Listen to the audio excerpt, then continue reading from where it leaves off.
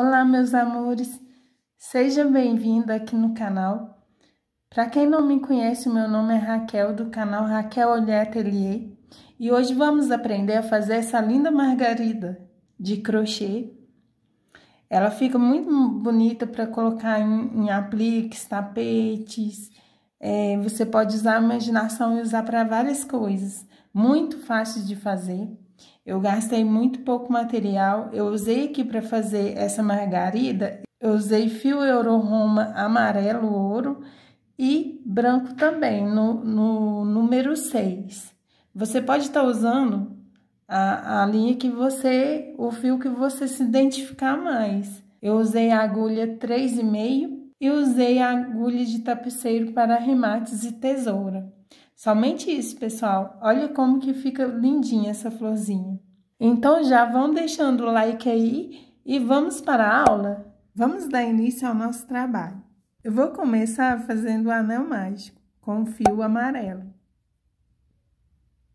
Vou fazer o anel mágico, vou segurar aqui a pontinha aqui, ó.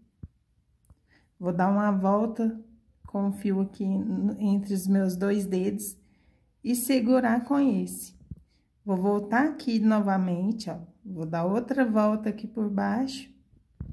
E vou segurar novamente com o outro dedo, pra ficar firme. Eu gosto de fazer assim, ó, anel mágico. Aí, você vem com a agulha, introduz a agulha aqui no fio de cima e pega o de baixo. Pegando a, o fio, eu solto os meus dedos levemente. Assim, está pronto o nosso anel mágico. Vou trabalhar os pontos aqui dentro do anel mágico.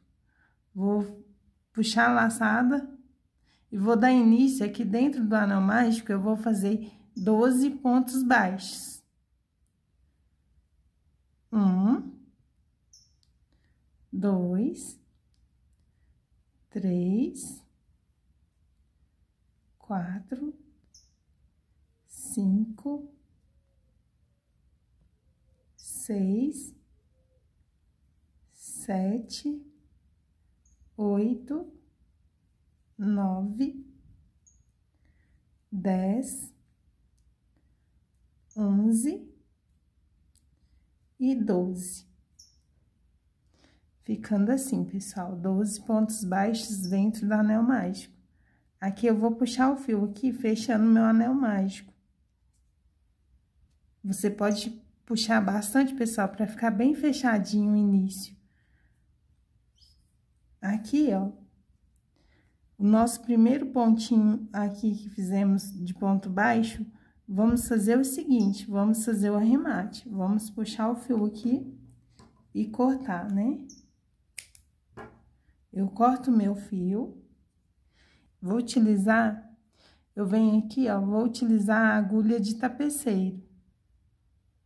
Para poder arrematar aqui o nosso círculo. Vem aqui no nosso primeiro pontinho que usamos para fazer o primeiro ponto, ponto baixo aqui dentro do anel, introduzimos a agulha dessa seguinte forma. Puxamos. E viemos aqui, ó. Onde saímos com o fiozinho aqui, nós vamos enfiar novamente a agulha.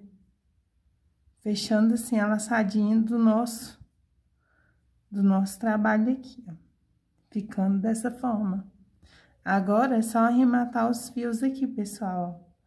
Aí, eu introduzo a, agulha aqui.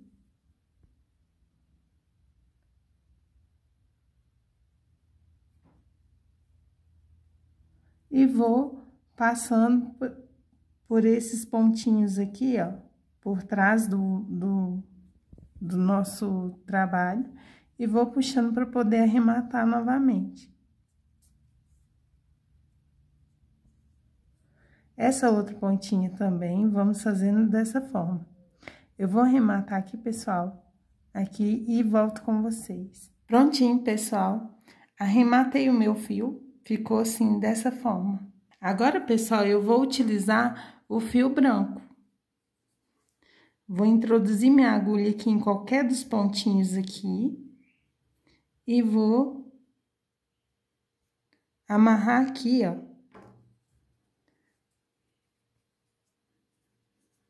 Vou amarrar meu fio branco aqui.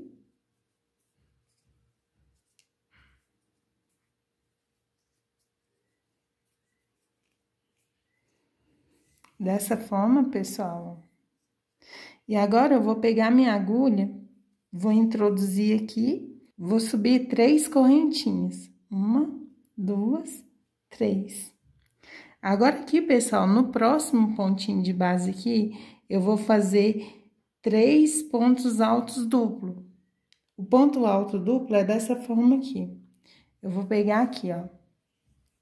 Vou dar duas laçadas na agulha. Vou vir aqui no próximo ponto, pontinho de base aqui, ó.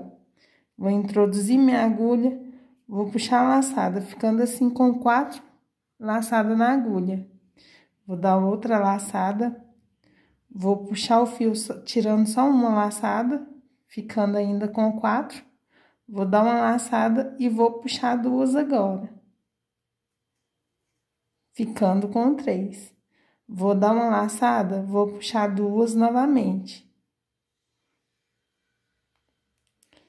Ficando com duas. Vou dar uma laçada e vou finalizar. Esse é o meu ponto alto duplo, pessoal eu vou fazer três, três pontos altos duplos aqui no mesmo ponto de base.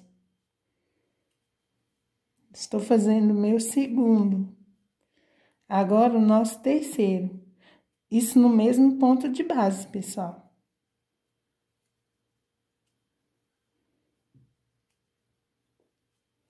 Olha só. Agora, eu vou fazer três correntinhas. No próximo ponto de base aqui, pessoal, olha, vamos fazer um ponto baixo.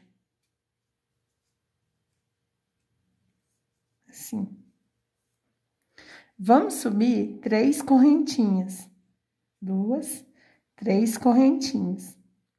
No, sempre escondendo aqui, pessoal, a pontinha branca, eu tô sempre introduzindo aqui no meio aqui para poder estar tá escondendo.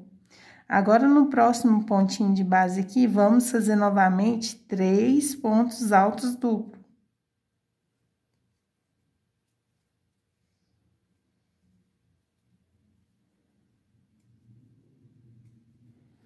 Novamente. Pessoal, se você ainda não é inscrito, se inscreva no canal, compartilhe com os amigos, deixe um like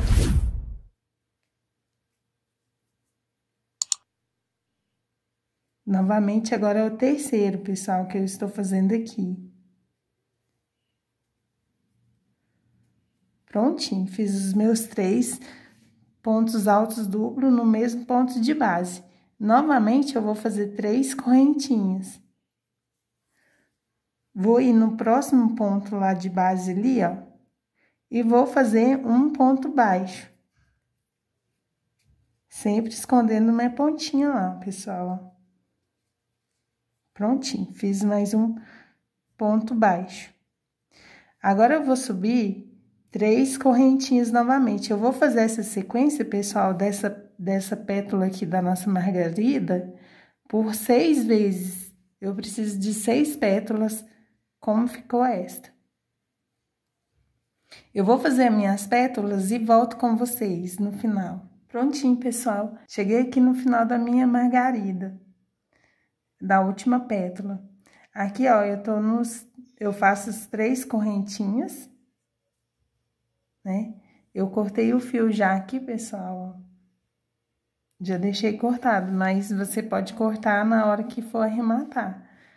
Aí, aqui, pessoal, olha, ainda tem um pontinho aqui, tá vendo?